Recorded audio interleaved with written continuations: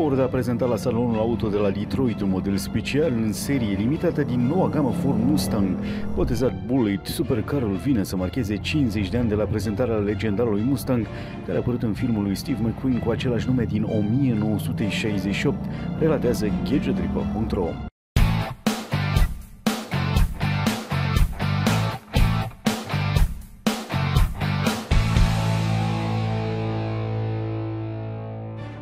Noul model Ford Mustang Bullitt vine cu o propulsie extrem de puternică de 475 de cai putere.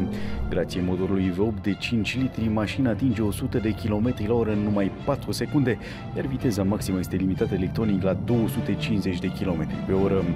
La fel ca legendarul model din 1968, noul Ford Mustang Bullet este echipat cu transmisie și cutie de viteze manuală, iar maneta are clasicul mâner cu bilă din lemn, la fel ca acum 50 de ani.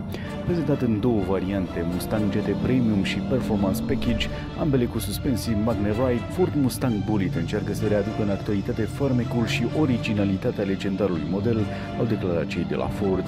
Disponibilă în numai două culori, dar Highland Green și Shadow Black, mașina include genți din aluminiu în culoarea neagră pentru a accentua lucrul special.